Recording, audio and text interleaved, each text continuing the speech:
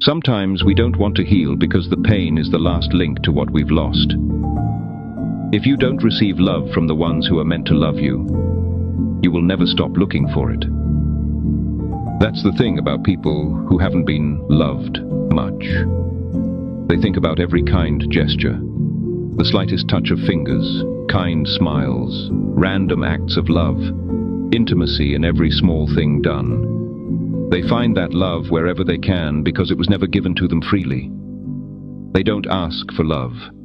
They search for it everywhere.